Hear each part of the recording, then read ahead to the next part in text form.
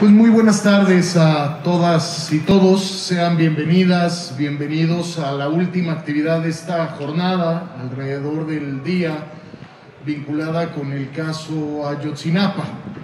Recordar que esta jornada es una iniciativa de nuestra área de reflexión universitaria, del Departamento de Ciencias Sociales, de los programas académicos de Derecho, de Ciencias eh, Políticas y es una jornada que se da con dos pretextos fundamentales. Una es la emisión del tercer informe del Grupo Interdisciplinario de Expertos Independientes, del GIEI, en el caso. Y el segundo pretexto es la obra de Elena Varela, que hoy presentamos, El caparazón de las, de las tortugas. Pero más allá de estos pretextos formales, el verdadero pretexto es que estamos cumpliendo siete años y medio pues de la desaparición de los estudiantes de Ayotzinapa y del proceso de lucha que han seguido pues estos 43 padres y madres que han logrado resistir durante todo este tiempo. Y con eso me permito agradecer en primer lugar a, a don Mario González que nos acompaña, uno de los padres insignia, y una vez más también a doña Hilda Hernández, que nos acompañó en la parte de la mañana de la, de la jornada, su hija Brenda. Muchas gracias, don Mario, doña Hilda, Brenda, por confiar en Libero, por acompañarnos y particularmente, pues, por su ejemplo de lucha, de dignidad y por lo que nos dejan como, como universidad. Indudablemente estos temas hay que traerlos al espacio universitario. Ustedes saben que nuestro modelo educativo nos vincula a una educación en contexto. No hay educación sin contexto y nos vincula como una universidad histórica en función del el compromiso de transformación de la realidad.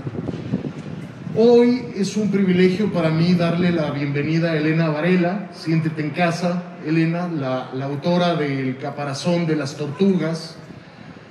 Quienes hemos estado trabajando en sociedad civil siempre hemos advertido el reto que significa hacer altos en el camino para sistematizar las experiencias en estos procesos de búsqueda de verdad y de justicia.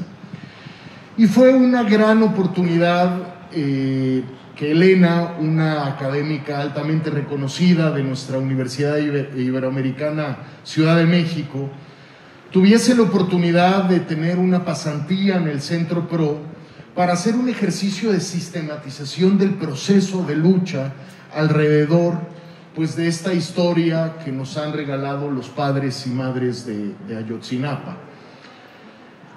Ha sido un proceso de defensa integral vinculado con un sinfín de estrategias, pero particularmente, y que es la pieza medular del trabajo editorial de Elena, es lo que significa poner en el centro a las víctimas, acompañar de manera integral a las víctimas desde un conjunto de estrategias de orden psicosocial, de orden jurídico, de orden internacional, de orden de divulgación y comunicación, etcétera, etcétera. Y Elena logra hacer un recuento, sí muy mediado por su estancia en el PRO, pero habla del PRO y habla también pues de la labor de las demás organizaciones que han participado en este proceso, porque algo que reivindica en su texto Elena es justo esta capacidad de entender que solos nos podemos y que hay que hacer alianzas y sociedades estratégicas. Es muy importante para mí eh, reivindicar que hemos apostado en la presentación de la, de la obra de Elena, pues primero darle voz al actor central o a los actores centrales y por eso la oportunidad de que esté don Mario, desde la voz de quienes directamente han resentido las graves violaciones de derechos humanos, pero no solamente eso, sino todo el continuum de violencia por parte de las instituciones del Estado. Muchas gracias, don Mario, por, por acompañarnos. Y sin duda alguna también es un privilegio darle la bienvenida a Santiago Aguirre, director del Centro PRO. Sin duda alguna el Centro PRO ha sido una de las instituciones pilares en el mundo de la sociedad civil que ha asumido el reto de reinventarse alrededor de las realidades más complejas y de las violaciones a derechos humanos todavía más, más complejas. Y no hay más voz autorizada que la propia voz de, Santiago que hoy pues enfrenta el reto de coordinar y de dirigir el Centro Pro. Muchas gracias, eh, Santiago. Y finalmente, además de reiterarte la bienvenida, Elena, siéntete en casa, por favor, en la Ibero Puebla. Quiero agradecer a Roberto Alonso, a nuestro Observatorio de Participación Ciudadana y Calidad Democrática, y quiero reivindicar y reiterar el agradecimiento a las y los estudiantes de Ciencias Políticas y de Derecho que de alguna manera, permítanme la expresión, nos interpelaron y nos movieron como universidad para generar la jornada del, día de hoy. Entonces, muchas gracias a las y los estudiantes y les dejo un, un abrazo fraterno y pues adelante, por favor. Gracias, Mario. El rostro en las mantas. Doña Cristi despliega su manta donde está la foto de su hijo. Esa manta que va a donde ella vaya. Ese objeto que trasciende su propia materialidad y se vuelve un ícono. Una forma de pensar, una forma de hacer presente al hijo que no está. Las mantas no son nada más una forma de mostrar al mundo el rostro de la persona desaparecida, un mecanismo de humanizar el horror de la desaparición forzada. Las mantas son mucho más que eso. A través de ellas se mantiene la cercanía que fue arrebatada un 26 de septiembre de 2014. Representan el pasado de una vida que se ha perdido el presente de una lucha que nos ceja y el futuro de una verdad anhelada. Por eso se vuelven acompañantes imprescindibles de la lucha, porque es esa presencia constante y cercana la que da la energía necesaria para seguir adelante. Es el rostro, es el recuerdo de lo que se ha perdido y lo que se busca. Es la compañía que aunque no esté físicamente, nunca ha dejado de estar. El fragmento leído es una de las 43 reflexiones que acompañan la obra que hoy presentamos y que hacen de este texto uno especial y novedoso. Un libro de doble memorial. Primero, el que ya anticipa su título, el papel del Centro ProDH como organización acompañante de las y los familiares de los 43 estudiantes desaparecidos de la normal rural de Ayotzinapa. Segundo, el memorial de la autora, quien decidió compartirse y poner en común 43 momentos personales que experimentó a lo largo de su estancia de colaboración e investigación en el Centro ProDH, cuyo fruto es esta obra. En palabras de Pablo Reina, quien prologa el libro, se trata de un gesto personal y político como modo alternativo en la generación de conocimiento. El caparazón de las tortugas, tomo lo que sigue de la contraportada, indaga sobre un aspecto poco abordado en torno al caso de Ayotzinapa, que es el papel que juegan las organizaciones de la sociedad civil en los procesos de acompañamiento de víctimas directas e indirectas. El caso del Centro ProDH resulta emblemático y permite poner a prueba las teorías y metodologías del estudio de las organizaciones de la sociedad civil. Este centro jugó un papel fundamental al mantener y coordinar dos estrategias distintas. Una de acompañamiento a las víctimas, que permitió la construcción de capital social comunitario, clave para mantener la movilización, y otra de relación con las autoridades, que permitió de manera gradual ir obteniendo algunos resultados. Entre el olvido que pretendía imponer el gobierno con su verdad histórica y la memoria que demandaba el colectivo de padres y madres, las organizaciones defensoras de derechos humanos y especialmente el Centro ProDH lograron ser el puente, el enlace entre dos esferas que estaban totalmente separadas, alejadas una de la otra. Esto ha sido un factor clave para que la lucha por la verdad y la justicia se mantenga activa durante tantos años. Para la presentación de este libro, esta jornada comenzó con la planeación de esta presentación y se convirtió en algo más grande.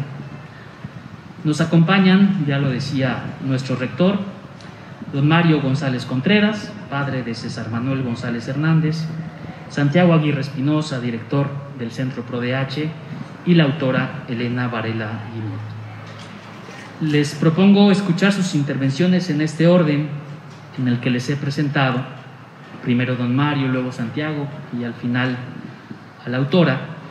Y me sumo también a la bienvenida, al agradecimiento a su generosidad de estar con nosotros, con nosotras esta tarde presencialmente aquí en nuestro campus.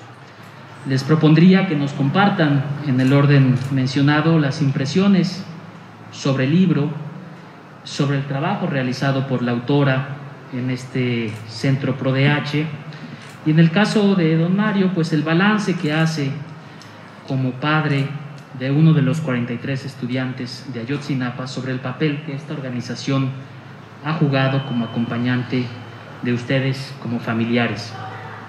Eh, le propondría a Santiago que posteriormente nos comparta también sus impresiones sobre el libro desde dentro de la organización y como fruto de esa sistematización de experiencia del acompañamiento al caso Ayotzinapa.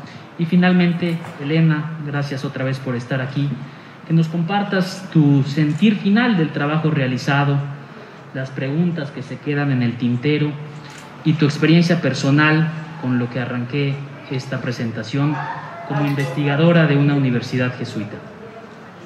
Don Mario, por favor, si nos puede compartir sus impresiones. Sí, gracias. Este, ¿Qué significa las organizaciones que nos acompañan? En primer lugar, el PRO.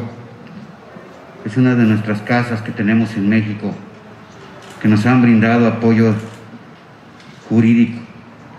Pero aparte de eso, de ese apoyo jurídico, nos, han brindado el del ser humano. El que cuando nosotros nos caemos, cuando andamos tristes, cuando un padre ya no puede, cuando una madre ya no puede, porque está acordando de su hijo, y soportando el dolor. No falta un licenciado, no falta una secretaria de que se acerque hacia nosotros y nos diga que ellas están con nosotros y nos quiera levantar con palabras a su manera.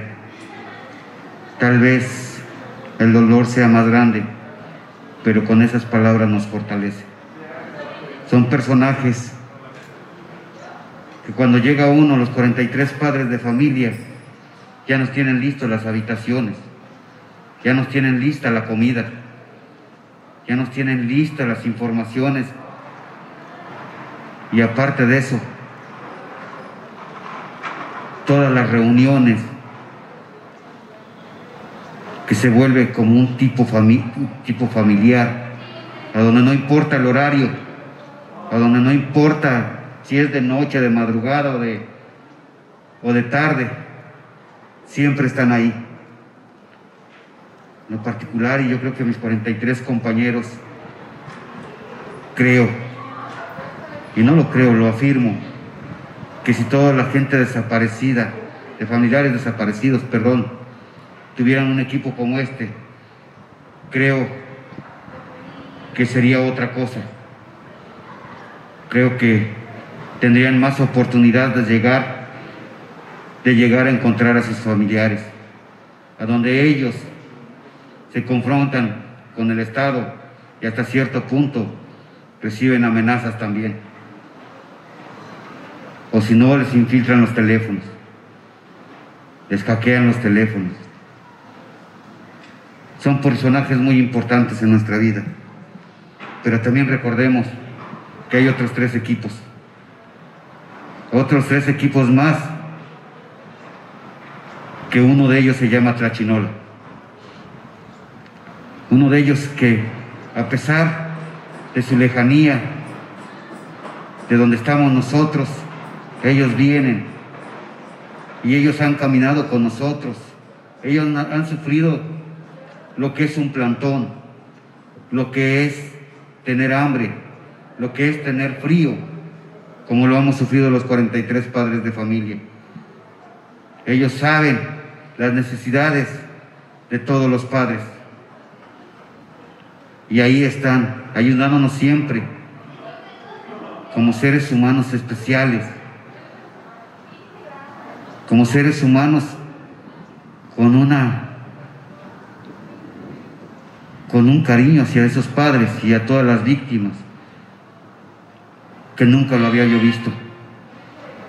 Licenciados que caminan con nosotros en las marchas, que están cuando nos reprimen, cuando nos golpean y también ellos son golpeados. Y cuando se necesitan, ahí están. Fundar, Fundar es una de las, de las organizaciones que hemos tenido soporte económico cuando se necesita para la comida. Apoyo psicológico cuando ellos, cuando nosotros lo, pedimos. Son personas que, que hacen mucha falta para este, para este país, para este país que está desangrando día tras día con más desapariciones, que una de las cosas que pedíamos nosotros los 43 padres de familia era la no repetición. Y cuando, cuando pasó esto eran cuarenta y tantos mil. Ahora ya tenemos cien mil. Y sigue pasando. Es por eso que necesitamos organizaciones como estas. Será paz. Serapaz es una de las personas también, un, un, equipo que también ha estado ahí, que también se ha confrontado con el Estado, que también ha puesto su, grano de, arena con, con, los 43 padres de familia.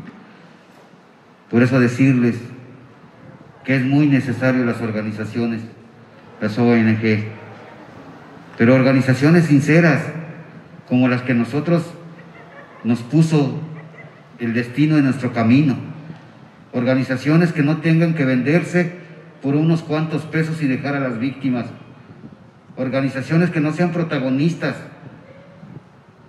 que no sean protagonistas cuando se les tiene que, se les tiene que dar la palabra a los padres. Así son nuestras organizaciones. Pues por eso que los 43 padres de familia les estamos muy agradecidos, porque nunca han sido protagonistas, nunca han sido de los que se quieren vender o reciben algo del gobierno. Al contrario, hay veces que hasta ellos mismos han puesto de su bolsa para completar la comida de los 43 padres de familia. Yo le contaba una vez al licenciado, Mario, al licenciado Santiago, que se tenían que tener un perfil todas las personas que entraban al, al centro PRO y me preguntaron por qué. Yo les contesté, porque tienen un carácter muy bonito, tienen una, presencia muy bonita, tienen, son de las personas que jamás en mi vida había conocido, que son muy buenas, que tienen todavía el don de poder escuchar a una víctima y defenderla. Esos son nuestros equipos y es muy necesario, de verdad, es muy necesario que haya más equipos como estos, porque desafortunadamente hay muchas víctimas, muchas madres que están llorando ahí en su casa, rogándole a Dios que regresen a su hija, que regresen a su hijo y que no tienen la oportunidad de tenerlas. Eso es lo que está pasando en México. Aunque lo quieramos negar, aunque no lo quieramos ver, pero es así. Yo sí públicamente lo quiero decirle. Muchas gracias, licenciado Vidulfo, y a todas, este, muchas gracias, licenciado Santiago. Este, han sido para nosotros nuestros héroes, han sido nuestro pilar para que no pueda el gobierno cerrar nuestro caso.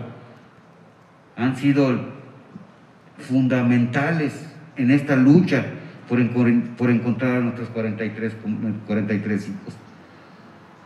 Han sido ustedes quienes han visto la asistencia, la, asistencia internacional. Han sido ustedes los que han buscado a, todas, las personas internacionalmente que nos han estado apoyando. Y de lo cual también tienen su, su mérito. También son personas buenas, personas que están comprometidas con la gente en derechos, en derechos humanos. Les agradezco mucho, licenciado Santiago. Gracias, don Mario. Gracias, don Mario. Me parece que pone de relieve un, un modo de proceder, recupero algunas de sus, de sus palabras, trato de interpretar también presencia, respaldo, espacio seguro, confianza, no protagonismo. Por la mañana, eh, el integrante del GIEI, Francisco Cox, señalaba que el propio mecanismo extraordinario del GIEI tenía trascendencia por representar un modelo para poder atender otros casos de desaparición forzada.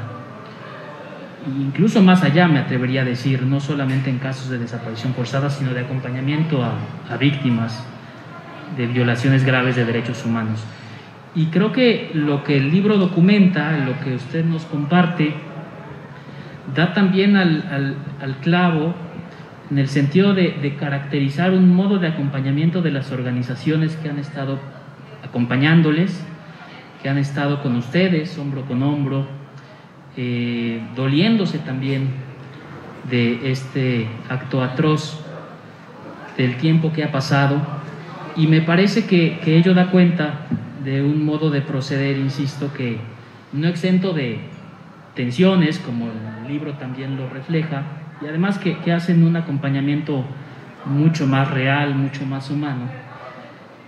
Podríamos eh, pues resaltarlo como una manera de estar con las víctimas, de acompañarles y de lograr la justicia tan anhelada por ustedes y por cientos de miles de personas en este país. Gracias por su intervención esta tarde eh, y ojalá podamos seguir conversando más adelante en la sesión de preguntas y respuestas. A raíz de esta intervención, Santiago, me gustaría que, que hicieras tus comentarios sobre las impresiones que te deja el libro y igualmente sobre lo que esta eh, experiencia de sistematización representa para la organización que ahora tú diriges. Gracias también por estar aquí, Santiago.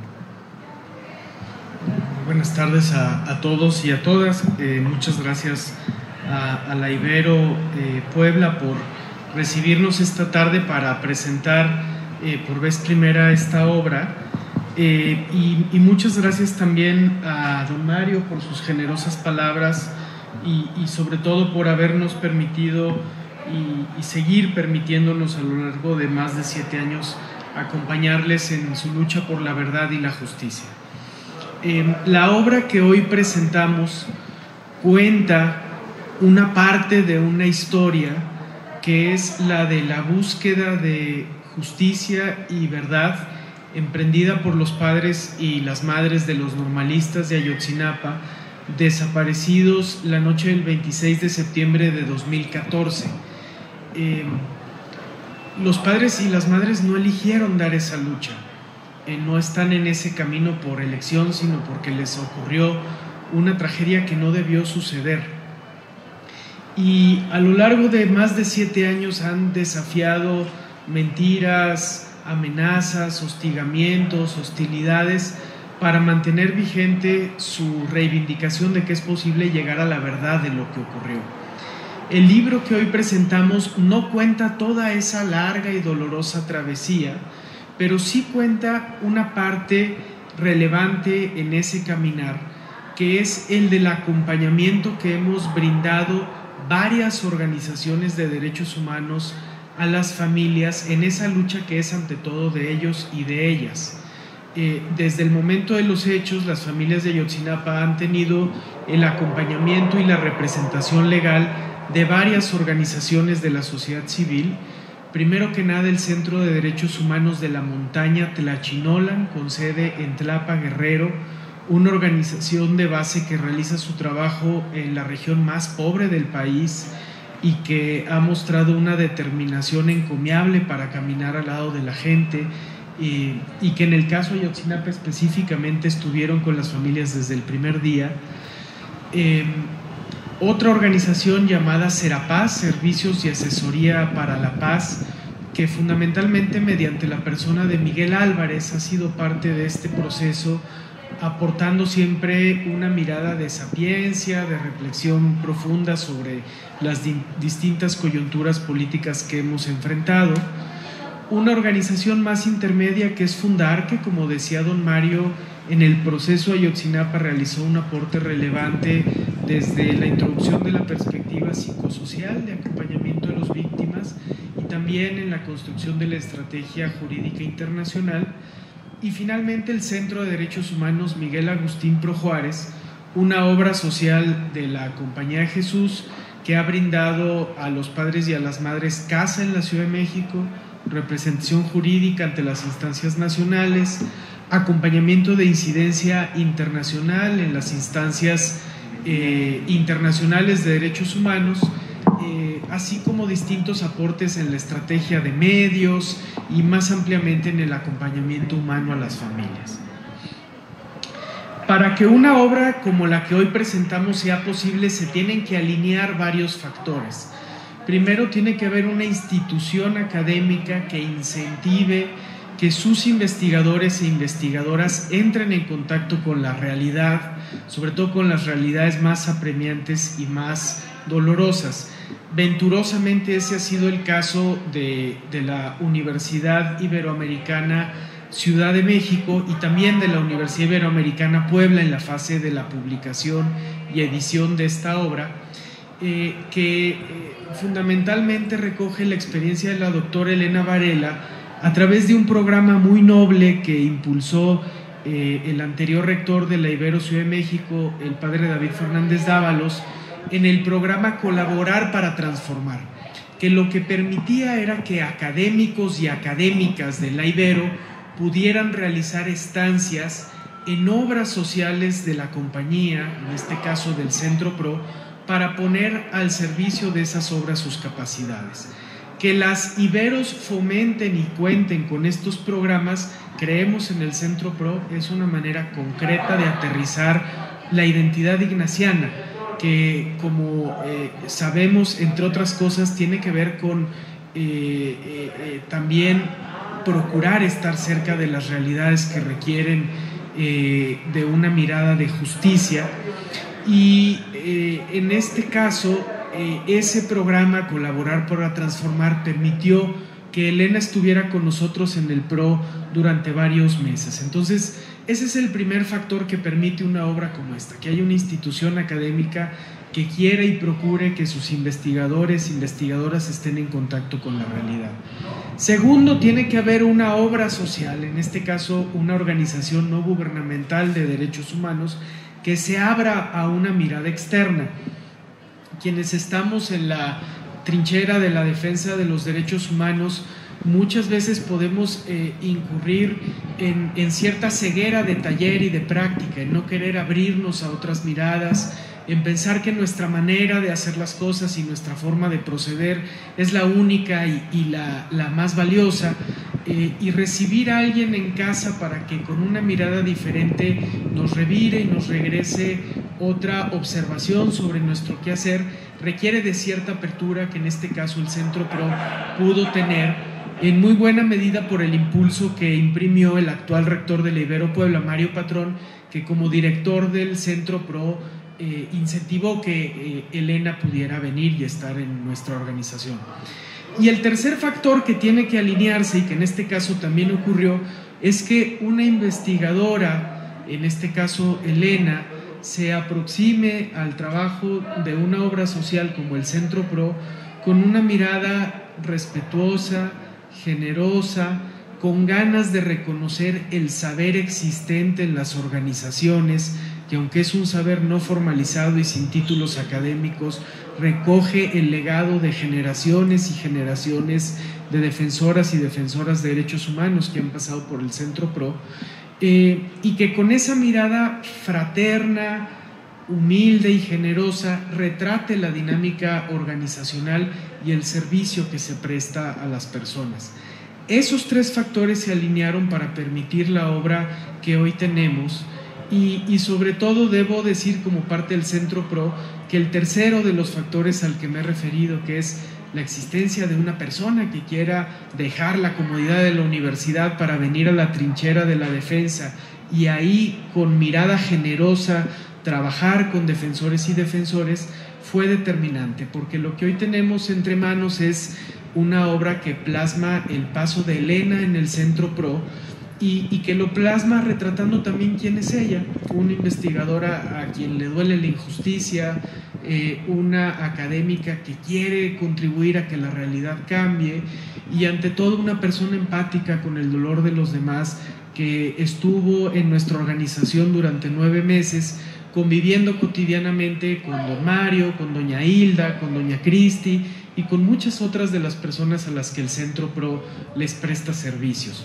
Eh, por eso es una obra muy entrañable para nosotros, una obra que queremos mucho y que con mucho gusto estamos presentando el día de hoy para sobre todo invitar a su lectura. En cuanto a su contenido, el libro que presentamos hace una revisión documental de lo que se publicó en su momento sobre el caso Ayotzinapa y encuentra que hay una ausencia en caracterizar adecuadamente el aporte de las organizaciones de derechos humanos que han acompañado a las familias.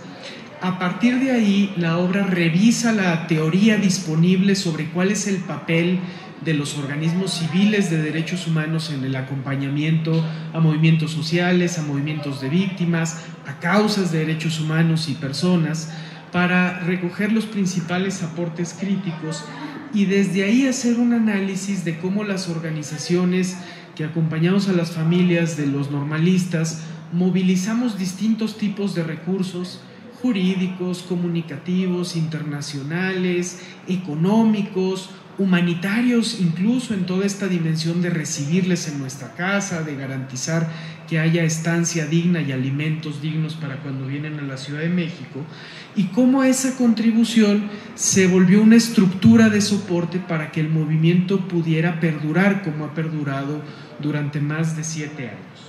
Eso la obra lo hace a partir de entrevistas, van a encontrar en sus páginas la palabra sencilla pero también digna y profunda de los padres y de las madres, van a encontrar la palabra de todo el equipo del Centro PRO, desde quien se ocupa del mantenimiento hasta quien le tocó la estrategia internacional en el caso.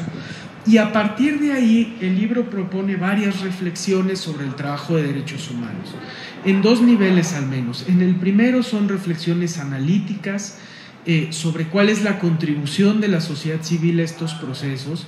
Quiero enfatizar que no son reflexiones complacientes, eh, la obra atinadamente nos plantea dilemas que enfrentamos las organizaciones y que tenemos que reflexionar con más profundidad. Por ejemplo, cómo se engarza la atención a un proceso concreto y a un caso específico con seguir trabajando en el cambio estructural y más amplio, eh, cosa a la que siempre aspiramos y que como la obra nos lo recuerda, no siempre logramos. Eh, eh, pero también en un segundo nivel, estas reflexiones, además de ese componente analítico, tienen otro componente que yo es el que quiero destacar, que son 43 reflexiones personales de Elena sobre lo que le movió, le generó eh, y le, le, ocasionó estar en contacto directo con las familias de los 43 normalistas.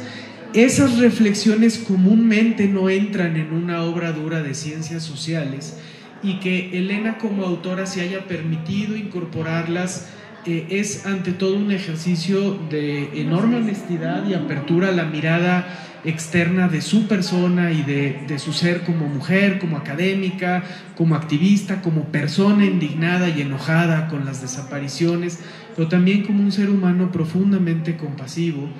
Eh, y, y son también, creo, un faro para quienes desde la academia están interesados e interesadas en participar más orgánicamente en los procesos de lucha y de defensa de derechos humanos.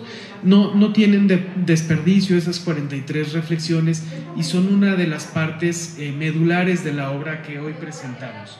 Finalmente quiero decir también que em, la obra que hoy presentamos es publicada en un contexto muy particular.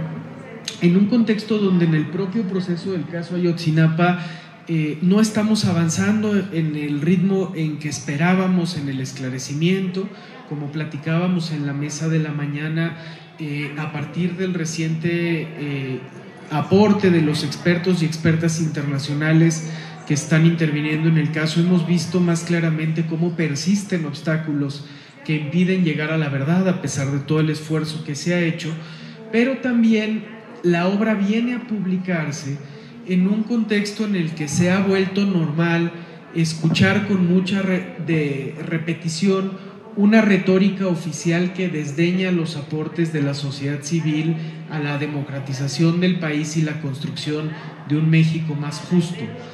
El libro que hoy presentamos es un argumento a favor de la importancia que tiene el trabajo serio de los organismos de la sociedad civil un trabajo que no está exento de tensiones, un trabajo que no está exento de mejorar malas prácticas en que en ocasiones se puede haber incurrido, pero un trabajo que siempre será indispensable en un país como el nuestro, donde las instituciones para funcionar necesitan a menudo ser aguijoneadas por actores externos que desde los medios de comunicación independientes o desde la sociedad civil crítica señalen lo que hay que señalar críticamente y sobre todo que acompañen de manera comprometida y honesta a las personas que buscan justicia.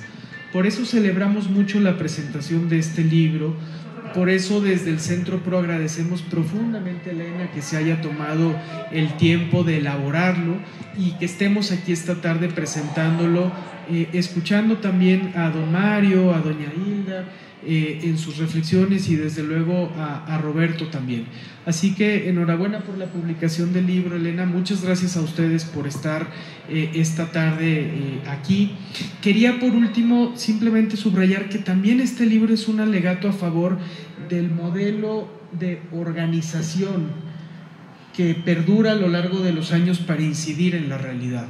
Y eso lo quiero destacar ante estudiantes eh, sobre todo porque hoy las redes sociales generan el espejismo de que el cambio social lo generan individuos estridentes. Y no es así.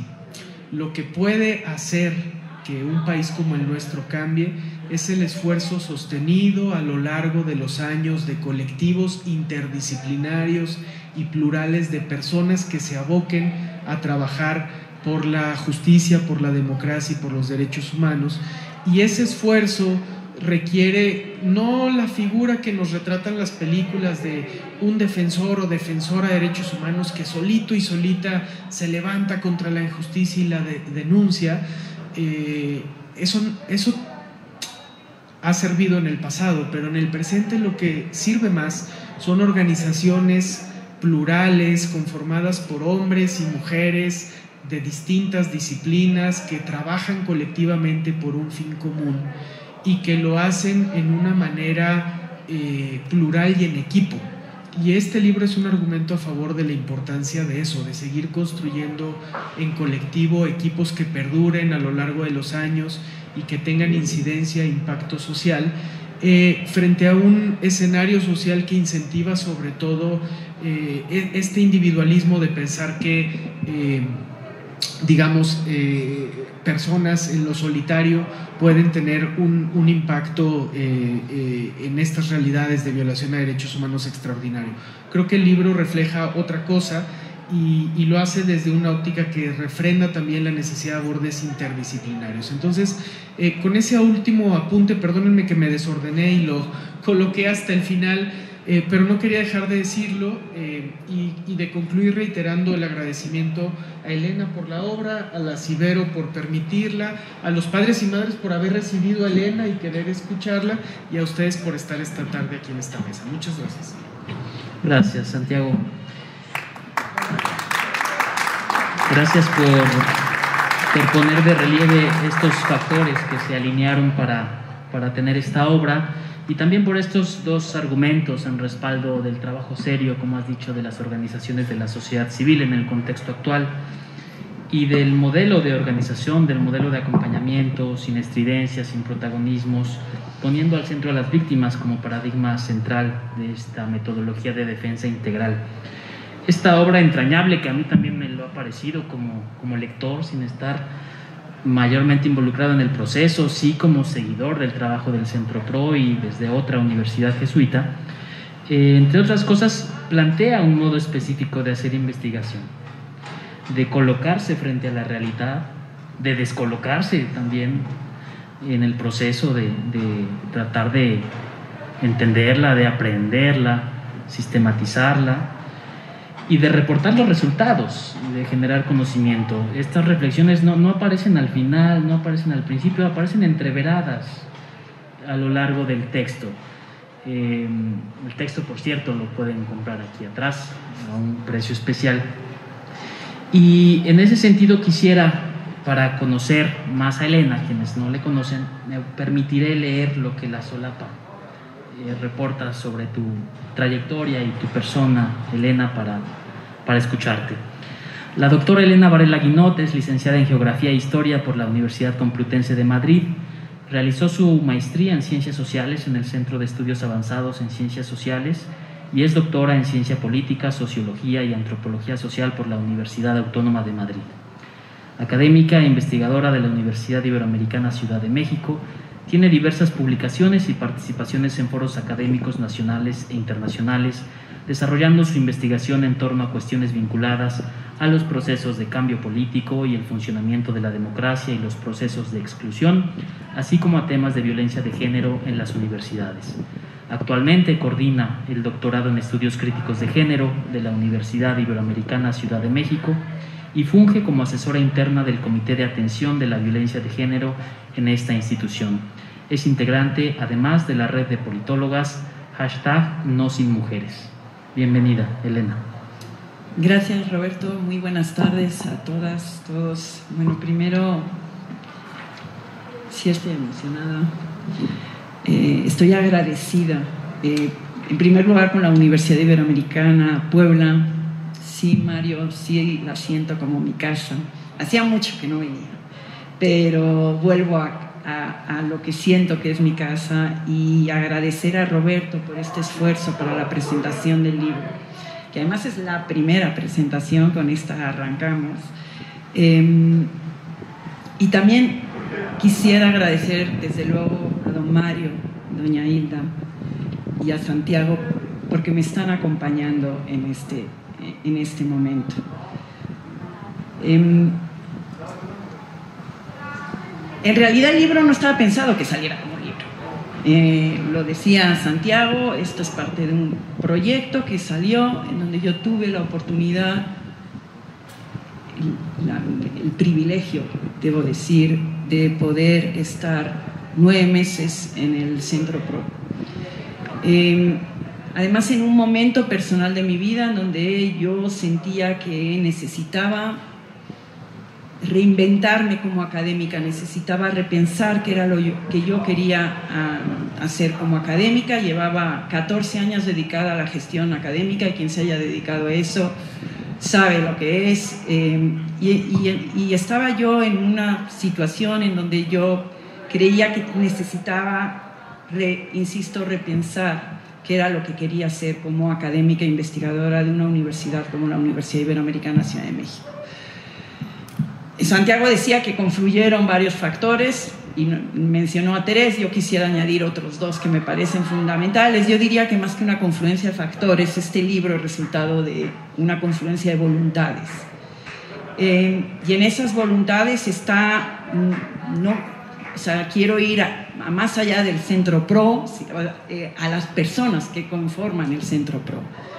La posibilidad no es que estuviera ya simplemente, pues, eh, digamos, como ahí está Elena, sino la posibilidad de compartir actividades eh, en el centro, de ver cómo trabajan, de ver las reuniones con padres y madres de familia, la posibilidad de ir a Guerrero al cumpleaños de Aldo, la posibilidad de estar en los convivios, en la despedida de Mario cuando se vino para acá.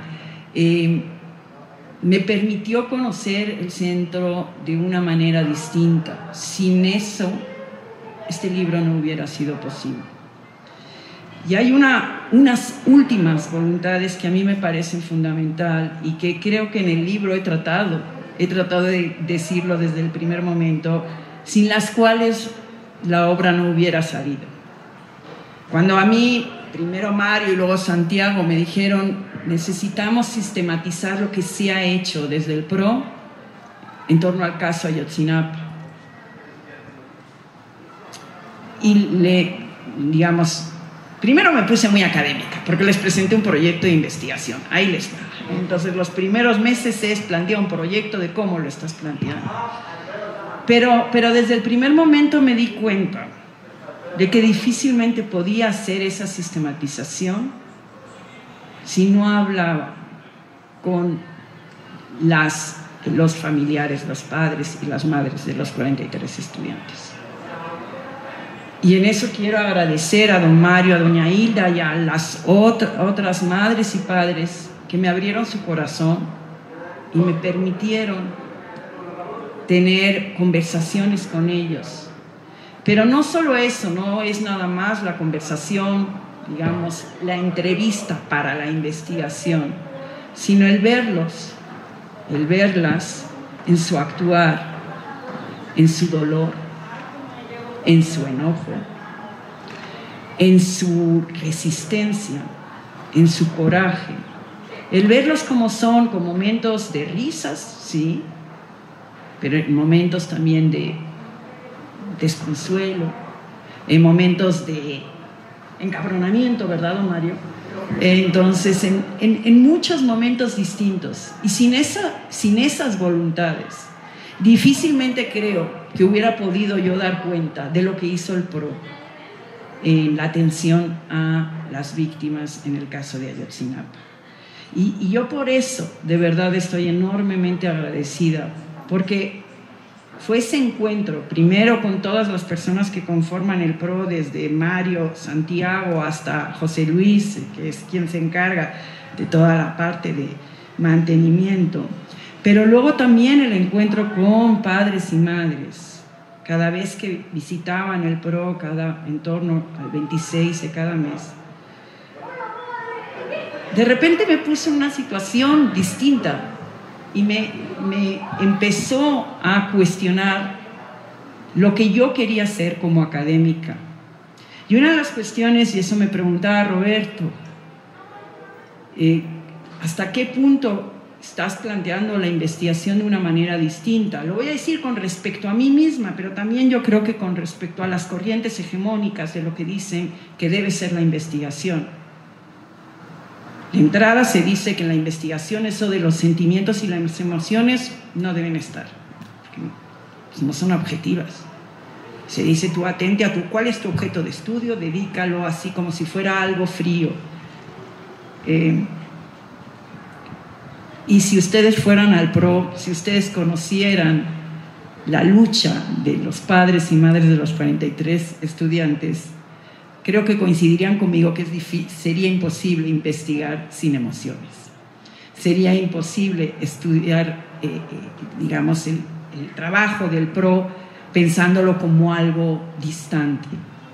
Y eso la verdad es que para mí fue lo más enriquecedor. Por eso necesité de esas 43 reflexiones que no solo se intercalan, es que se fueron generando día a día. No es algo que al final dije, ah, voy a meter 43 reflexiones, sino que era una suerte, yo le digo como de terapia de contención de todas las emociones que yo también estaba viviendo como investigadora, del dolor que estaba viendo, de, la forma en que veía cómo luchaban y todo lo que eso me estaba generando a mí como académica y como investigadora. Y ese momento en el día en donde yo decía, ¿Qué quiero decir de todo esto? ¿no? Más allá del trabajo que yo les iba a presentar a eh, los compañeros y compañeras del PRO. Y de ahí las 43 reflexiones. Y sí hubo un momento con la editorial que me dijeron, las metemos atrás y les dije, no pueden ir atrás, tienen que ir en el texto, tienen que ir intercaladas porque es como se, como se crearon y es como además se entiende el texto.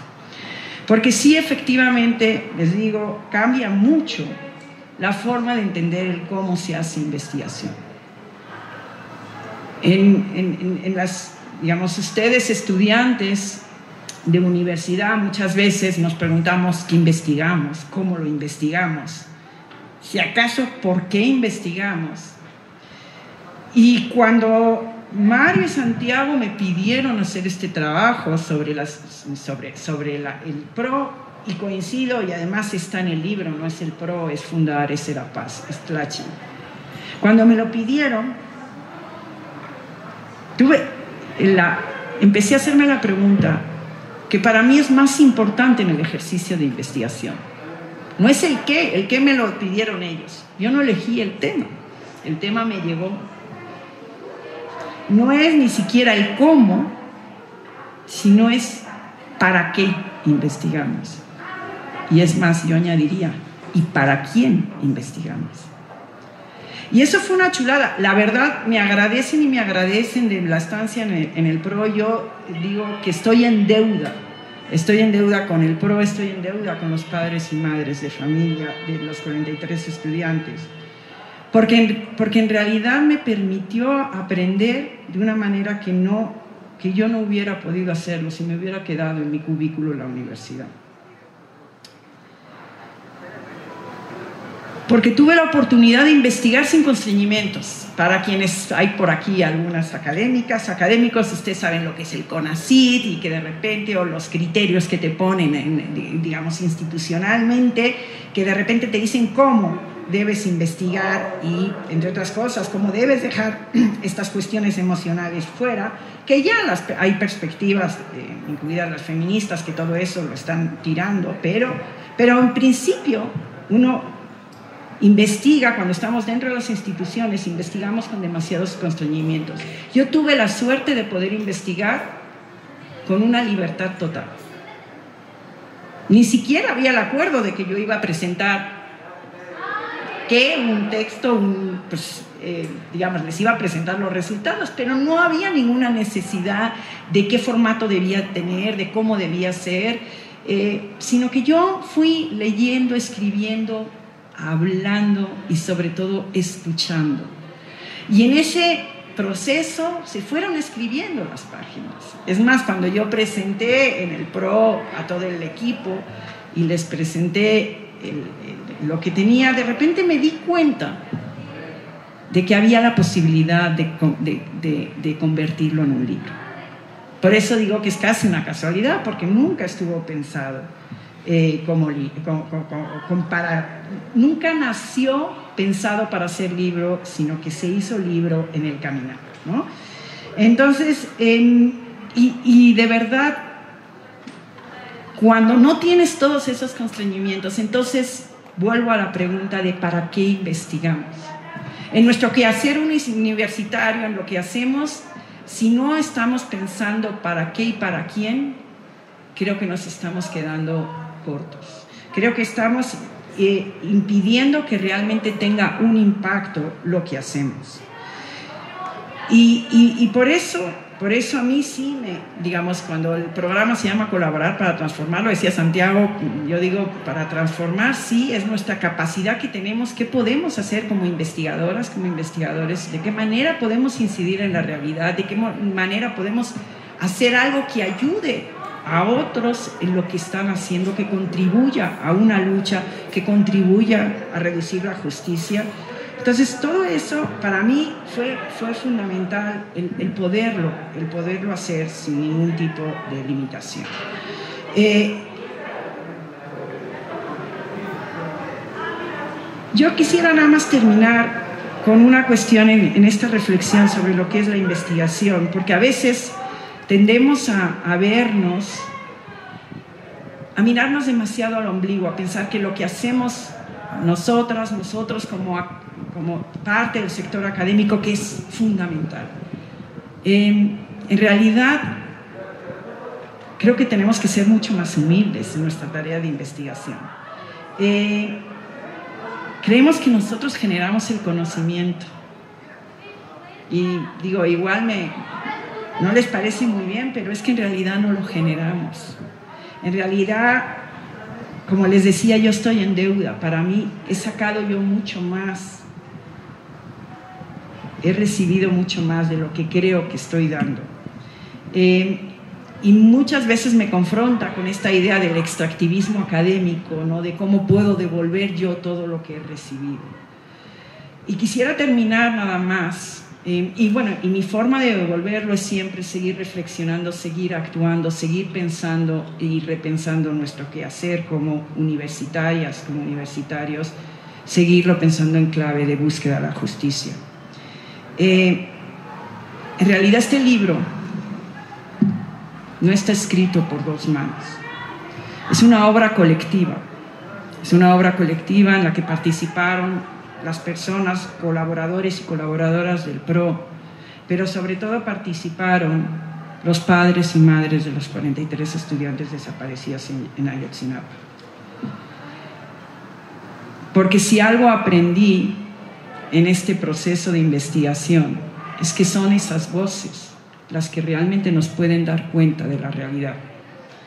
Eh, y lo digo en el marco de la carrera de ciencias políticas que nos hablaron del papel de las instituciones y esas cosas, pues eh, sí son importantes las instituciones, pero las personas que están alrededor son mucho más importantes.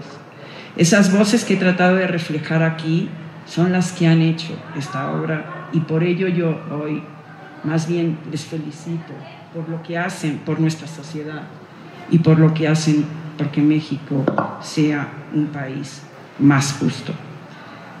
Si algo aprendido de ustedes, doña Hilda, don Mario, que están aquí presentes, y del resto de padres y madres de familia, es el verdadero valor de la palabra dignidad. Muchas gracias por lo que me dieron.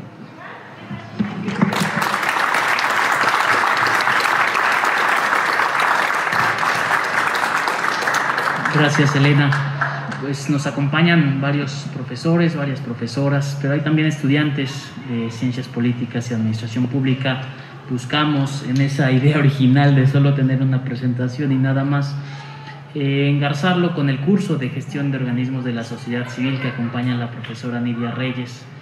Eh, estudiantes de ese curso de, de la carrera de ciencias políticas y administración pública nos están acompañando y creo que es muy relevante esto último que, apuntas, Elena, justamente como complemento práctico de, ese curso. Eh, abrimos en este momento el, espacio de diálogo con el público asistente.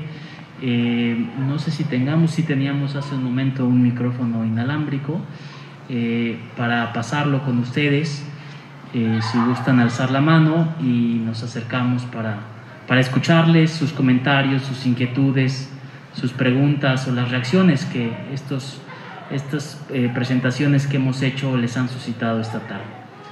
Adelante, Nidia.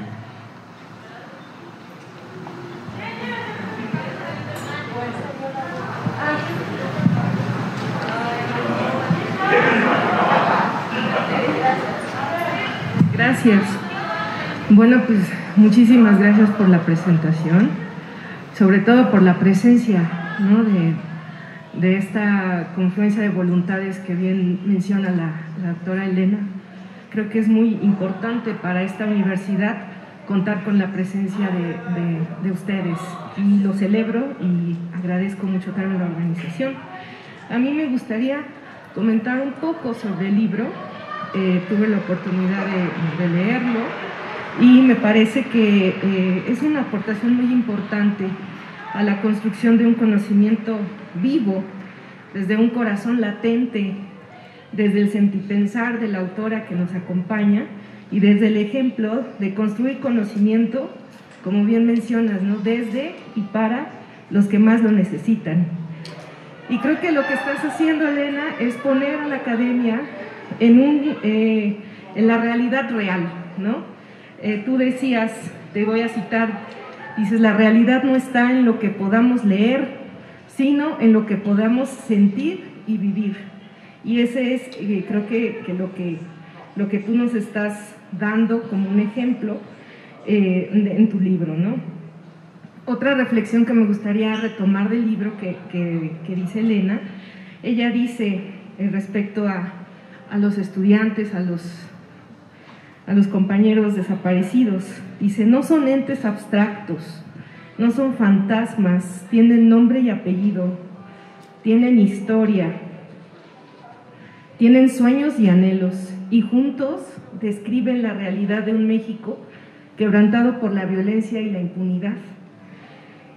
Yo agregaría que, que también describen una realidad de un México en memoria colectiva, es decir, con esta tragedia despertó un, México colectivo, ¿no? Esa, esa capacidad de estrategia y de cooperación, de esa capacidad de acción colectiva que en estos años mostró la potencia del poder social, la potencia que tiene esta confluencia de voluntades, de organizaciones de la sociedad civil, entre la academia y sobre todo regresarnos ese, ese también responsabilidad como académicos y como profesores en las universidades.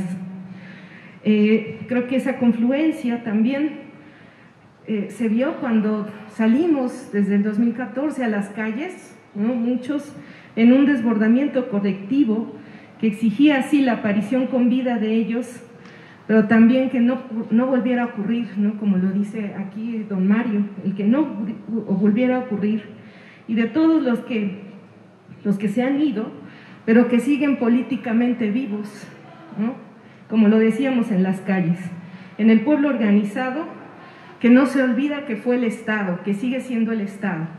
Creo que esa, esa memoria colectiva que se ha mantenido viva durante estos siete años y un poco más ha sido eh, pues muy importante y celebro mucho que lo, lo, hagas en este, en este proyecto académico que te cuestiones también desde esa neutralidad, ¿no?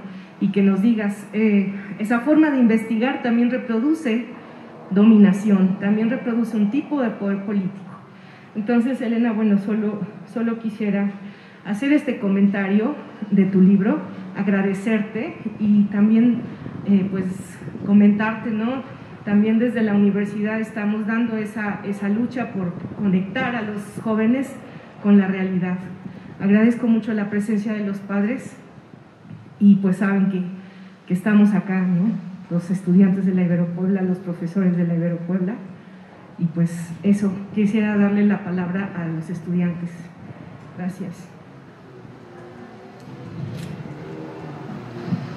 Eh, como bien comentaba el maestro Roberto Alonso, eh, esta es una lectura que no solamente nos informa sobre estos hechos, sino que complementa de, gran manera muchos de, los conocimientos que la maestra Nidia eh, nos ha impartido, que nos ha compartido, eh, sobre todo en la supervivencia de la acción social y de la movilización social eh, a través de las alianzas, del acompañamiento.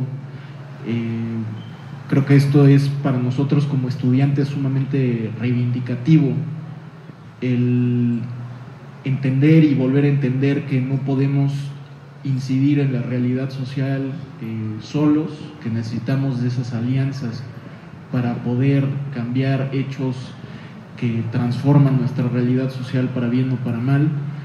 Eh, también como un comentario general sobre la lectura, me parece absolutamente brillante el título del libro, eh, acompañado del simbolismo que tiene eh, Ayotzinapa. Para quienes no hayan tenido la oportunidad de leer el libro, significa lugar de las tortugas y la manera en la que se utiliza este, eh, se utiliza este simbolismo a través de este animal culturalmente simbólico para, para Ayotzinapa es el endurecimiento del caparazón que protege la carne blanda, como decía en el libro de aquellos que buscan destruirlo.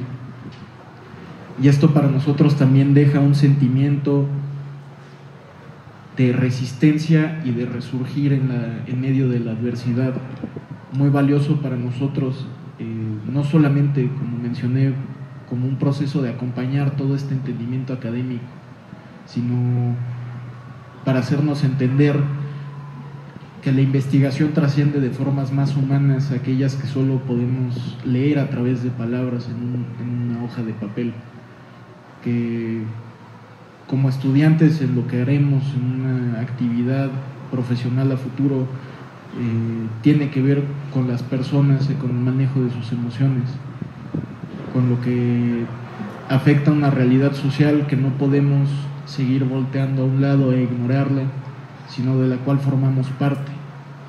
Y en medio de, esa reflexión me surgía la pregunta de de cómo se lidia con el desprestigio llevado a cabo por medios de comunicación que se pusieron al servicio del Estado. Sería todo por mi parte, muchas gracias. Gracias, Emiliano. ¿Alguna pregunta más para sumarla y dar paso a unas intervenciones del panel? ¿Algún comentario? Bueno, primero que nada, muchísimas gracias por asistir de nuevo. Yo sé que las gracias pueden, pueden ser constantes, pero en verdad se agradece estas oportunidades, estos foros. Y pues sobre el libro eh, me, interesó mucho, eh, me interesó mucho los pasajes, como había dicho la doctora, que en efecto son esenciales que estén a través de la lectura y no al final, para que así nosotros podamos entender el contexto y también eh, tener un poco de la realidad. Hay un, pasaje muy interesante que dice que no, que dice sobre el caso de los 43 que este no es un caso irregular o independiente, lamentablemente es el sistema del Estado que usa para reprimir a, la, a estos movimientos. Eh, este no, lamentablemente no ha sido el primero, como lo mencioné al principio de la lectura, también estuvo en el 68.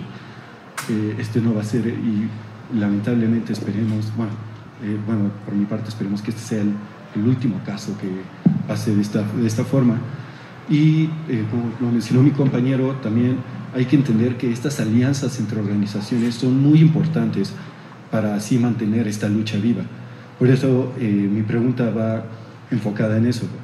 Eh, también eh, es una pregunta para usted, don Mario, este, no sé si también me lo podría ayudar, cómo se mantuvo esta unión de los padres de familia ante los intentos del Estado de desmantelar la misma organización que tuvo y también cómo los padres en familia siguieron, a pesar de la unión, siguieron esta misma línea, cómo estuvieron todos de acuerdo. Y pues nada, eh, esta es toda mi pregunta. Muchísimas gracias a todos de nuevo. Gracias, Carlos. ¿Algún comentario más? ¿Alguna pregunta? Hasta allá atrás. propongo escuchar una más dar paso aquí a, las eh, intervenciones de la mesa y luego hacer una segunda ronda para no, para no acumular tantas. Um, hola, buenas tardes, muchas gracias de nuevo. Sé que ya a estas alturas son algo repetitivo, pero um, yo, yo, lloré cada vez que hablaban um, y creo que eso es algo que igual hay que retomar, como decías tú, Elena, como en verdad incluir esta parte de las emociones en la parte académica porque siento que siempre ha sido como ah, las ciencias tienen que ser frías, tienen que ser como esta parte más calculadora y todo esto, entonces siento que es como muy bonito poder escuchar que se está retomando esta parte del sentir, porque es muy importante y como se dice, no se puede incidir en la realidad si en verdad no se sabe cómo es esa realidad. Entonces, como poder tener esta oportunidad de escucharles, de tener esta experiencia yo la verdad no conocía el libro, mi maestra me dejó venir ahorita a la presentación, entonces igual es como muy bonito, igual, aunque yo no sea de ciencias políticas, aunque yo no sea de derecho, yo estudio diseño de hecho, pero igual poder ver como esta parte de, pues es importante para cualquier disciplina, no solamente para las ciencias políticas, no solamente para esto o para aquello, es importante retomar como esta parte del sentir, entonces les quiero agradecer esa parte.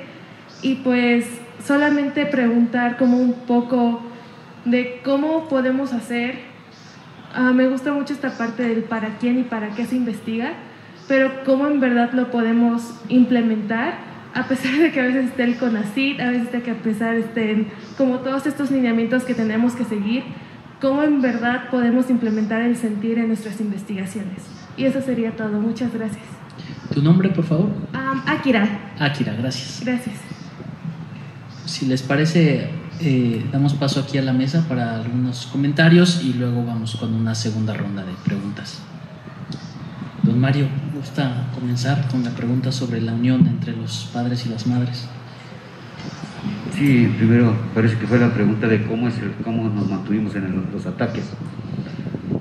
Pues precisamente fue una de, los, las bases fundamentales e, los equipos, los equipos que nos apoyaban y nos decían, porque pues nosotros nos, no estamos acostumbrados a, a cierto tipo de ataques públicos y este, no estábamos acostumbrados, ya, ya estamos acostumbrados, pero este los equipos, los equipos también tenían todavía tiempo de, darnos la palmadita y decirnos para adelante, para adelante. Y entre nosotros mismos los padres, los, padres este, nos echábamos la mano cuando, cuando le tocaba a alguien que atacara, que atacaba, pues nos, dábamos fuerza entre nosotros.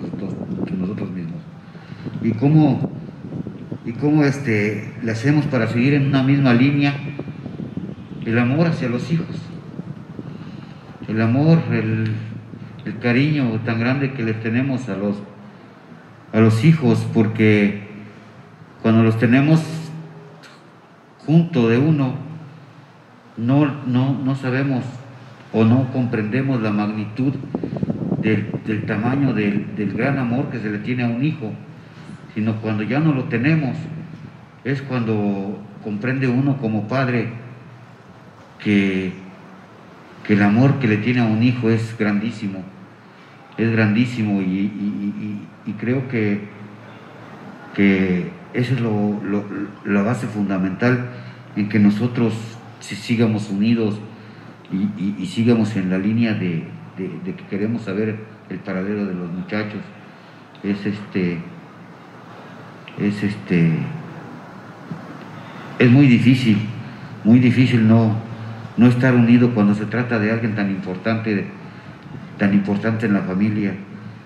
Por eso que, a veces este, yo les digo que, o les comento que cuando se tienen los hijos cerca, que hay que disfrutarlos a lo máximo, disfrutarlos, entenderlos y quererlos muchísimo, porque cuando no los tiene uno es cuando de verdad ve uno la magnitud, el tamaño tan grande de, la necesidad de poderlos abrazar, de quererlos abrazar, de quererlos besar, de, muchas cosas. Y, pues, pues ya no se puede, ya no se puede, eso es lo que nos mantiene en una misma línea. Muchas gracias.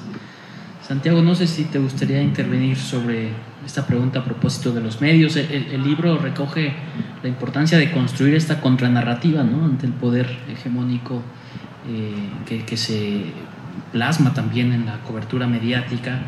Eh, o sobre la investigación, me parece que, las universidades tenemos mucho que aprender de las organizaciones sociales respecto a esto que nos decía Kira sobre el para qué y el para quién. Eh, adelante. Sí, muchas gracias Roberto y muchas gracias por sus, por sus comentarios. Eh, más que, que, recibir el agradecimiento de ustedes, les queremos refrendar nosotros, quienes estamos en la mesa, el agradecimiento de que estén aquí esta tarde, eh, escuchando sus, sus, comentarios, que sean parte de, de, un curso que específicamente versa sobre, sobre sociedad civil y lo que ahora han compartido, pues todo eh, en realidad lo que nos provoca es el agradecimiento a, nosotros por su escucha atenta y, por hacer patente que vale la pena publicar eh, estos trabajos que, generan reflexiones como las que han compartido.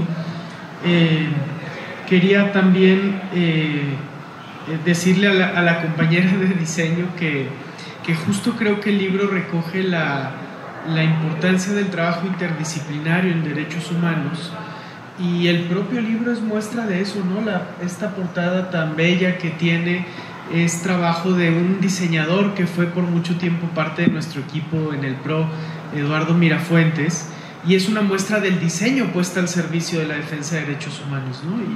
Y, como es, hay muchas eh, eh, aportes en el libro de profesionistas que no vienen del derecho o de las ciencias políticas, de mis compañeras de, relaciones internacionales que han hecho un trabajo estupendo en el caso, eh, de, mis compañeras en el área de comunicación, que, en todo momento a lo largo de estos años hicieron un trabajo eh, fundamental.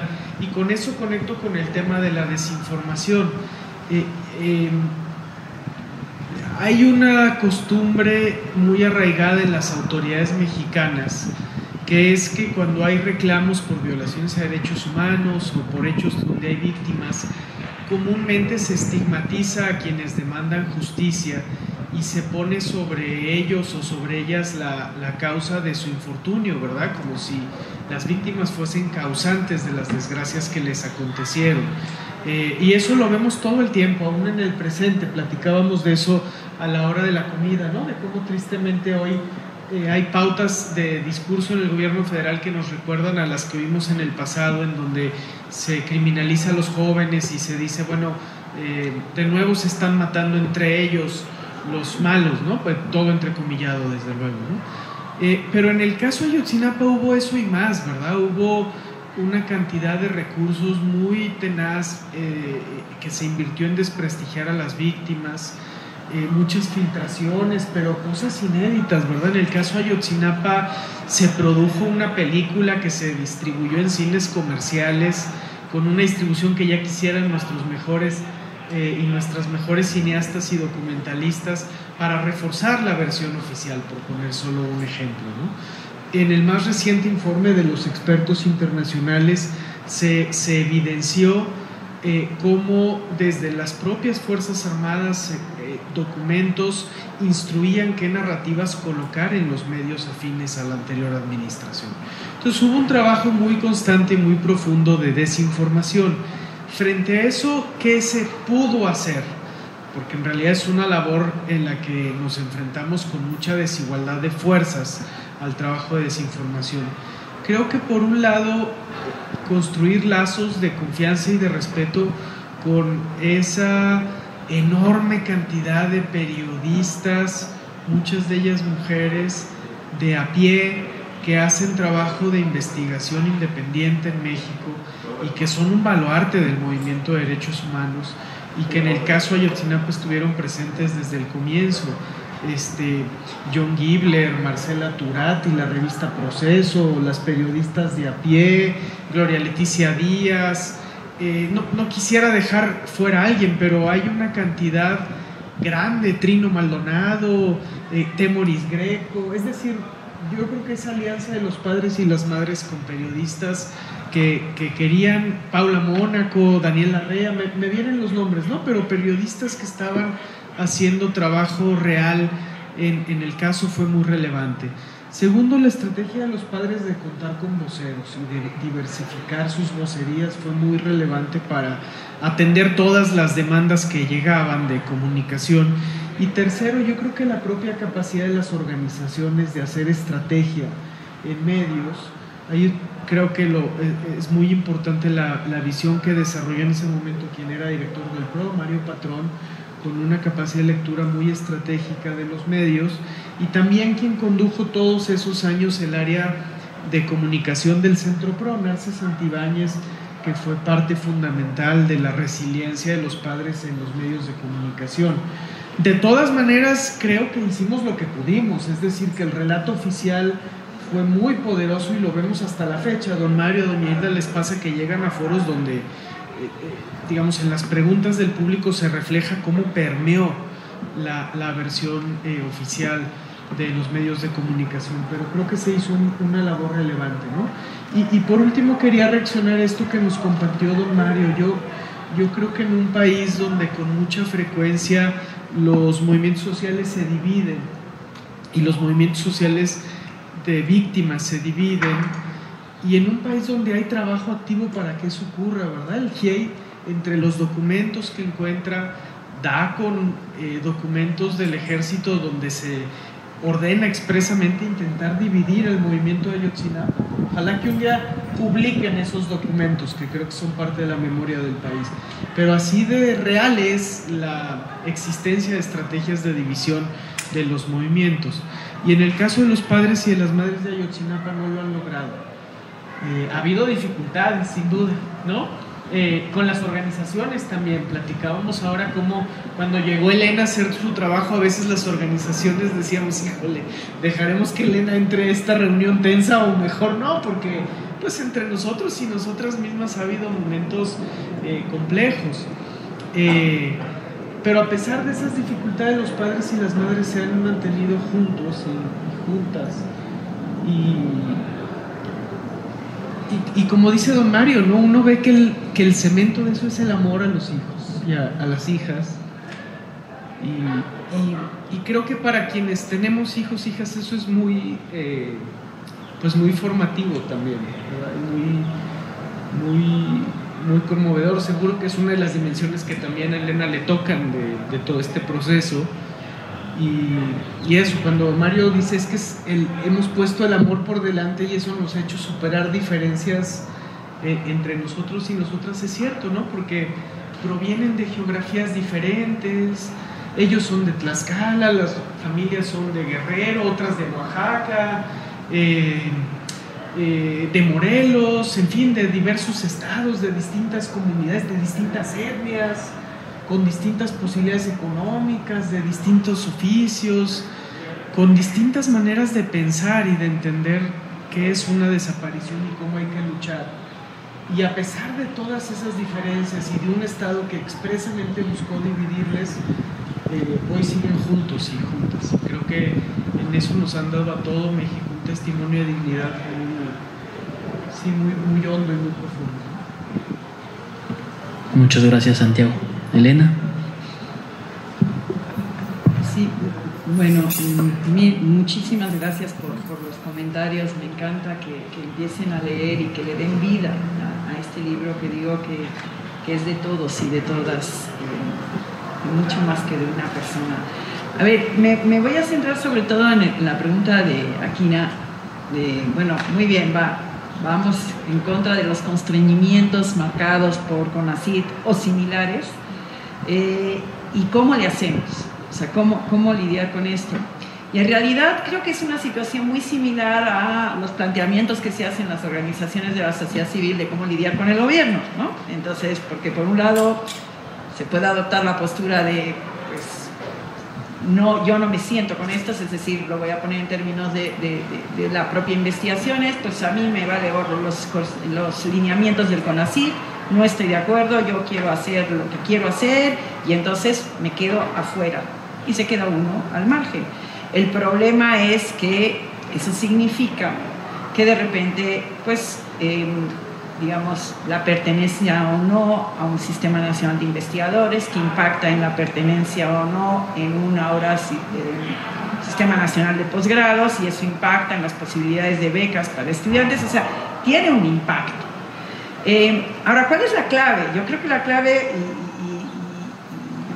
y, entiendo que las organizaciones de la sociedad civil en estos, digamos, en estos procesos de discernimiento de alguna manera o de, toma de decisiones estratégicas, de cómo actuar, lo primero que tenemos que hacer es asumir que efectivamente se está tomando una postura contrahegemónica. Salir de las zonas de confort. Si, si nada más queremos estar ahí, pues entonces sí, digamos, eh, eh, en el caso de las organizaciones, pues es este tipo de organizaciones que efectivamente quedan absolutamente cooptadas por el gobierno y, bueno, reciben beneficios, pero el impacto que puedan tener en términos de atención al volvemos al para qué y para quién, pues son menores.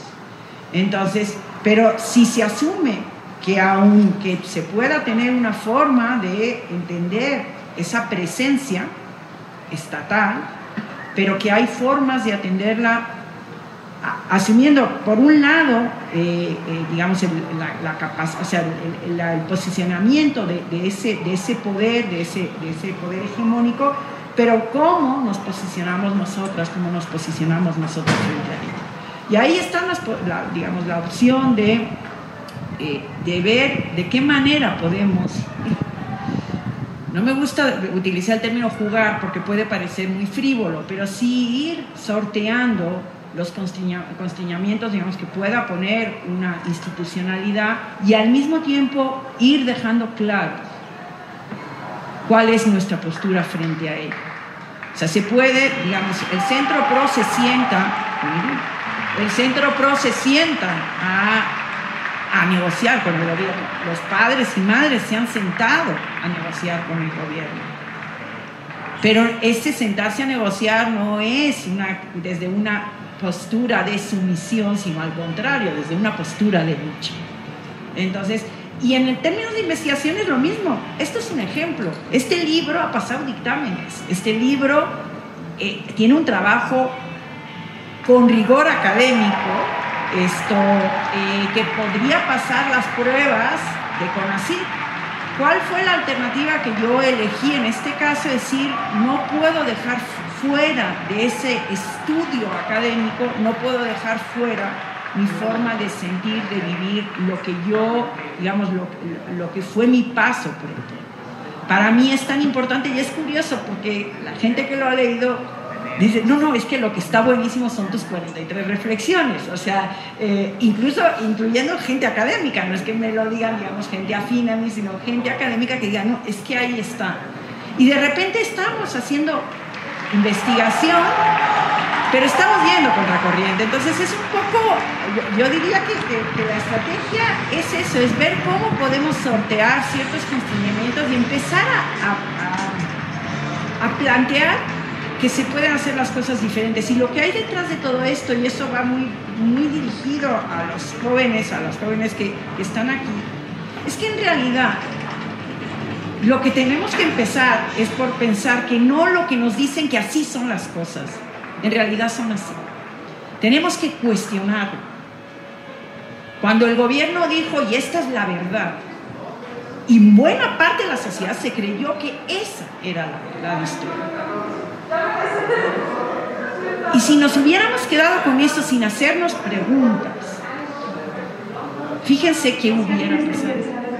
Entonces la clave, la clave está siempre en no tomar las cosas como dadas, de solo así se puede investigar, solo así se puede enseñar, solo así se puede aprender. Le reitero, yo aprendí, me leí un montonal de libros, ahí es tanto esto porque leí más que nunca, leí muchísimo de Ayotzinapa. Pero lo que más aprendí no estaba en los libros. Lo que más aprendí estaba en ese compartir con colaboradores y colaboradoras del PRO y en compartir con padres y madres de familia. Entonces, lo primero es salgamos de las zonas de confort y cuestionemos lo que nos dicen que está dado y que no puede ser de otra manera. Y encontremos la manera de ir abriendo brecha, porque sí se puede. Aunque nos digan que no, porque no, no, no, no, eso te lo van a tirar. Hay formas de hacerlo. Y esa es, diría, diría yo, la invitación que les hago y la forma en que se puede ir eh, cambiando las cosas y pensando que sí, sí se puede hacer investigación con todo y, las emociones no por medio, por delante. Ese sería lo que les diría. Gracias. Muchas gracias, Elena. Vi por atrás un par de manos levantadas hace rato.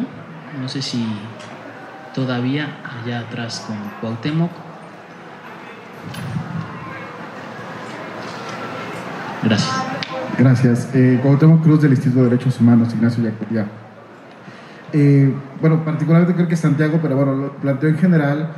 Eh, México es uno de los países más peligrosos, no solamente para el ejercicio del periodismo, sino también en materia de defensores de derechos humanos. Frente a esto, el uso del Estado, no solamente, digamos, ya lo decían como en las campañas de desprestigio frente a los medios de comunicación, Sí, también creo que fue muy significativo que para el caso Yotzinapa el uso de los programas de espionaje, particularmente Pegasus, ¿no? creo que ha sido como muy reiterativo primero el espionaje hacia el propio, los propios integrantes del Centro PRO, después esta nueva revelación que espían al, al y que finalmente también espían a los padres. Lo, lo pienso y lo las revelaciones del tercer informe del, del GIEI, ¿no? de esto de que a la par también había espionaje sobre los estudiantes, mientras esa, en las horas críticas, el espionaje o el seguimiento a los estudiantes, en la parte posterior de investigación, voltean hacia las organizaciones para espiarlas. En ese contexto, preguntarles cómo trastocó eh, este conocimiento de saberse vigilados en el trabajo de acompañamiento o cómo resistir el embate. ¿no? E, en, esta lógica de que se ha planteado que, o, se dice comúnmente que en la lucha de los derechos humanos no hay una lucha que valga la vida, ¿no? Para decirlo, o, el arriesgues. ¿Hasta dónde, cómo cambió la forma de acompañamiento el saber que tenían encima el aparato del Estado, sobre todo en el tema de vigilancia, y cómo trabajar frente a estos contextos, ¿no? En esta otra parte también, pues existente en la defensa de los derechos humanos. Esa sería como mi pregunta. Gracias. ¿Alguna otra pregunta, comentario? Aquí adelante con Simón, por favor. Gracias. Pues eh, mi pregunta sería dirigida hacia el ámbito de la formación, de la formación desde la sensibilización de la dimensión de la violencia que vive el país. Eh, entiendo que también para las organizaciones hace una experiencia muy, muy significativa tener que ir acompañando procesos cada vez de mayor violencia, de mayor complejidad, donde la tortura, la desaparición, los feminicidios, pues tienen esa dimensión eh, de, violencia descarnada. Y en la, en la formación de las ciencias sociales, y yo debo decirlo, así no me cargo un poco, ¿no? De mi propia disciplina, que es el derecho, pues siempre este acercamiento eh, parte desde un nivel de, racionalidad, de la abstracción, pero difícilmente se nos forma desde la empatía. Y tenemos eh, un problema muy, muy concreto y muy específico, abogadas, abogados y seguramente en otras disciplinas, cuando nos acercamos a una realidad eh, no solo dolorosa, sino violenta, el no saber hacerlo más allá de nuestras... Eh, digamos, eh, capas de formación eh, de lo abstracto, de la disciplina social, de la neutralidad a veces también científica.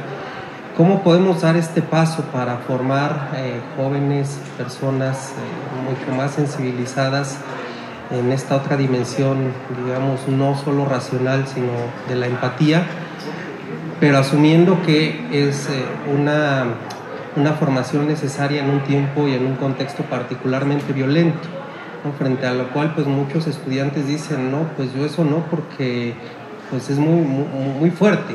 Entonces tenemos que hacer conciencia que, que, esa realidad es fuerte, que no es una realidad eh, intransformable, pero que debemos asumirla pues con esas eh, cargas ¿no? tan profundas de, de violencias estructurales y dando también las herramientas necesarias para que se puedan asumir y, transformar eh, esas, esas mismas expresiones de violencia.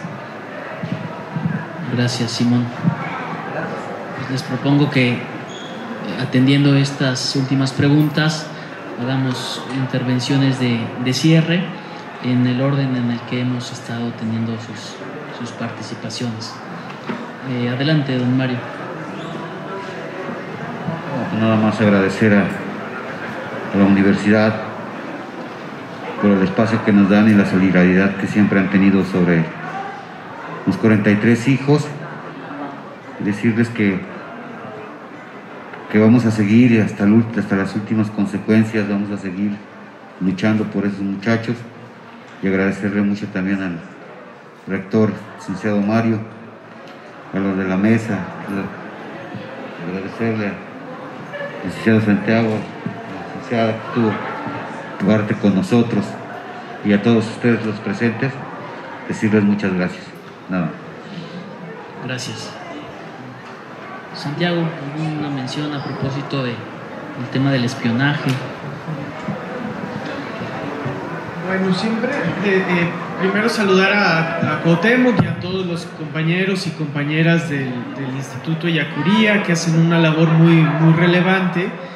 Eh, sobre el tema del uso de software de espionaje en el caso Ayotzinapa, em, en particular respecto de, los defensores y defensoras de derechos humanos, siempre nos da mucho prurito abordar el tema, al menos desde el PRO, porque digamos en un país donde siguen jugándose la vida defensores y defensoras en las zonas más violentas del país y periodistas también, eh, sí, sí suena también como un poco, eh, sí, como poco empático poner por delante el espionaje digital cuando hay gente perdiendo la vida, ¿verdad? Y quisiéramos en el PRO más bien poner el foco ahí y no en nosotros mismos o nosotras mismas. Pero es cierto que en el caso Ayotzinapa el espionaje se utilizó de una forma pues muy, muy dolosa, ¿verdad? Eh, eh, por, por ilustrarlo nada más, un buen día nos despertamos en la mañana y había una llamada que yo tuve con don Mario, donde estamos hablando del caso en el portal de internet del Universal, ¿verdad? Eh, y como hablábamos de un donativo que había hecho un sindicato, la llamada se presentaba en un portal de Facebook que sugería que don Mario y yo éramos de los rojos, ¿no?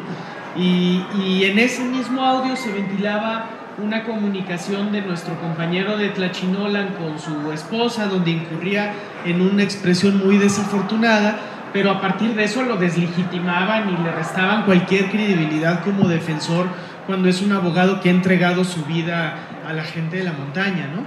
O en el caso de Mario Patrón, también un seguimiento muy constante sobre su teléfono. Creo que como lo vivimos en Ayotzinapa, don Mario me podrá corregir, pero más bien era desde mucha indignación de que la tecnología con la que contaba el Estado mexicano, en vez de emplearse inmediatamente para buscar a los desaparecidos, se hubiese empleado para seguir a los padres y a, los y a las madres con un afán de obtener información de sus movilizaciones, pero sobre todo de intentar deslegitimarlos cuando pudieran, ¿verdad? Eh, y esa desproporción de cómo sí se cuentan con las tecnologías de punta, pero no se emplean de la manera adecuada, sino siempre en un sentido contrario a las víctimas, era lo que recuerdo que se vivía con mucha indignación desde los padres y las madres. Más recientemente, en el último reporte de, de lo que se llamó como Pegasus Project, que fue esta investigación de alcance internacional, se encontraron más teléfonos de los padres y de las madres en la base de, datos que, que, parecía indicar que habían sido al menos objetivos de intentos de espionaje, sino ya de espionaje consumado. Recuerdo en particular que apareció el teléfono de don Melitón Ortega, tío de Mauricio y uno de los puntales de organización de los padres y de las madres, y de la propia doña Cristi, cuya imagen está en la portada de este libro. ¿no? Eh, tenemos que decir que eso está impune. Otra de las grandes deudas de este proceso en que estamos en México, en el que esperábamos que eh, la transición trajera algún tipo de rendición de cuentas, no ha sido el caso y presumimos que si Tomás Herón se fue a Israel fue en parte por las conexiones que tiene con los proveedores de esta tecnología eh, eh, y, y, los contratos que se entregaron en México. ¿no? ¿Cómo incidió en el proceso? Yo creo que desde que oímos esas llamadas nos cuidamos mucho más de la expresión o de lo que hacemos en, en, en, teléfono, pues somos más claros de que tenemos que ser de una pieza, ¿verdad? Y la misma expresión pública que tenemos aquí es la que tenemos que tener en las conversaciones, es más alta la exigencia de, de consistencia y de congruencia los padres y las madres tienen que gastar más en teléfonos, ¿no? Y no es algo que esté a su, a su alcance. Entonces sí hay un impacto, desde luego, en la, en la organización y en el proceso de, de lucha, ¿verdad? Y, y, sobre la pregunta del maestro Simón, que aprovecho para decir, fue muy importante en el procesamiento inicial de los tomos de la investigación que, que nos ayudó Simón a, a, revisar exhaustivamente en tardes y tardes de trabajo, en fin de semana, por cierto, en el Centro Pro este, eh, creo que, que, algo de lo que da testimonio el libro de, Elena es que el desarrollo de la empatía no puede provenir de procesos abstractos de aula, sino que exige procesos de proximidad con la gente, que no, no es la enseñanza de contenidos, sino acercar a los estudiantes y a las estudiantes a experiencias de contacto donde puedan hablar con doña Hilda, con don Mario, este, o donde puedan aquí en Puebla conocer a alguien eh, como, eh, no sé, como María Luisa Núñez, ¿verdad? Como esas madres que son el ejemplo de dignidad en el país. Eso es lo que puede hacer que en un proceso formativo la empatía sea parte de lo que se desarrolle en las y los educandos. Y creo que en eso eh, las universidades confiadas a la Compañía de Jesús tienen una larga experiencia y una larga tradición de generar espacios donde los estudiantes las y, los académicos también desde luego puedan tener sobre todo experiencias y contacto con la realidad. Ahora mismo en el Centro Pro nos beneficiamos mucho de que está con nosotros Leilani, también Alejandro de la carrera de Derecho, eh, pero antes estuvo Alexia que está por acá atrás y, y creemos mucho en eso, ¿verdad? En que abrir nuestros espacios para que más gente pueda tener la experiencia de contacto con el dolor de los otros, que es la experiencia humana básica y constitutiva de la identidad del defensor y la defensora de derechos humanos, eh, puede estar disponible a otros y otras, porque es ahí donde nace la empatía, ¿verdad?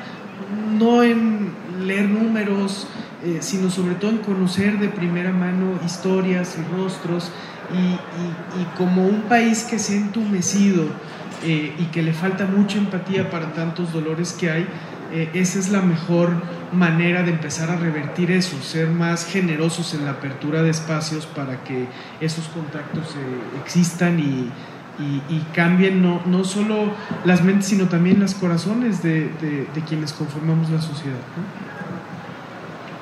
Gracias, Santiago. Elena. Te voy, a, te voy a invitar a dar clase en la Ibero. Ya respondió él mucho mejor de lo que yo pueda hacerlo. Pero, pero yo creo que ahí está la clave. Digo, yo recuerdo cuando mi hija y mi hijo eran más chicos en primaria, ¿no? Y, y cada vez que iniciaba el curso eh, te daban el material y llegaban a casa con tres bolsas de libros eh, para el curso, que era, bueno, solo cargarlas al día siguiente, porque primero era la labor de forrarlas y luego al día siguiente tenían que ir a la escuela con esas que no podían cargarlas. Y uno se ponía, una se ponía a ver el contenido de los libros y decía, aquí no pueden aprender mucho. Pero era ese monumento al libro de ahí está el saber, ahí está el conocimiento, ¿no? Entonces, eh, y, creo que la educación tradicional se ha basado en eso, en pensar que si leemos mucho, entonces aprenderemos mucho. ¿no? Y yo creo que, que, que en la universidad, en las Iberos, se está haciendo un esfuerzo muy grande por empezar a entender lo que decía antes, que el saber está en otras muchas partes. No es que no voy a desdeñar yo los libros si acabo de escribir uno, ¿no? Eh, sería un poco esto, suicida por mi parte, pero, pero los eh, hay, hay mucho que aprender más allá de los libros. Y específicamente la necesidad que tenemos de que nuestros y nuestras estudiantes entiendan el país de violencia que vivimos, el país de desigualdades que vivimos, el país de injusticias que vivimos, eso solo se puede hacer con un contacto directo con la realidad. a mí me llama la atención cuando aparecen las noticias y aparecieron tres decapitados nuevos y ya la gente no se inmuta y pienso en mis estudiantes. O sea, es como ya otros más, ¿no? Entonces es es esa, esa, verlo como algo ajeno, o sea, como si esa realidad fuera ajena a la que viven como, como estudiantes. Y yo creo que nuestro principal reto como docentes es, es lograr que entiendan que esa es parte de su realidad.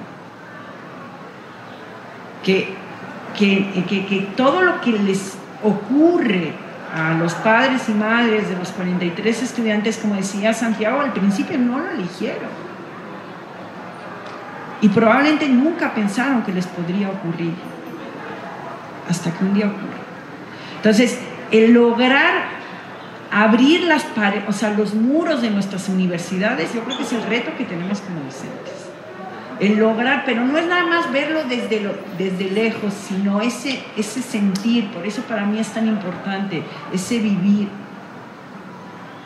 Para, yo creo que solo así lograremos ciudadanos y ciudadanas que tengan esa capacidad de tomar las decisiones de otra manera.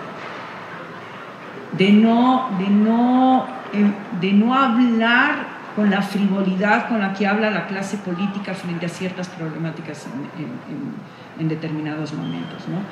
Y eso solo se logra cuando se vive, cuando, cuando, cuando sufres con la persona, y eso no está en los libros. Entonces, pero eso es el gran reto. Hay por ahí una de las reflexiones que va justamente sobre eso, sobre, sobre la necesidad que tenemos de desaprender lo que hemos aprendido para entonces pensar en los procesos formativos de otra manera distinta. Y bueno, cierro agradeciendo de verdad, eh, digo, tanto a quienes me acompañaron aquí en la mesa como a ustedes por esta oportunidad de, conversar, que es maravillosa. Muchas gracias, Elena. Pues a mí no me queda más que reiterar los agradecimientos, en especial a mis colegas de la universidad que, hicieron posible esta jornada. Estamos terminando la, jornada por Ayotzinapa, el caparazón de las tortugas, con esta presentación, en especial a, Simón, a Aurora, a Saulo, que ya se tuvo que retirar, eh, y bueno, también el apoyo incondicional de, de Mario para su realización. Eh, tenemos pues un reconocimiento para, para ustedes tres. Permitir dar lectura a uno de ellos.